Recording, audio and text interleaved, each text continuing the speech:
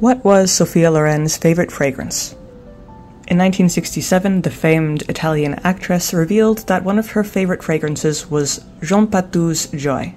This is a fine floral scent with notes of ylang ylang, tuberose, and Bulgarian rose. This fragrance was released in 1930, but unfortunately was discontinued. However, it can still be found from third party vendors. It has also long been known to represent French sophistication and elegance.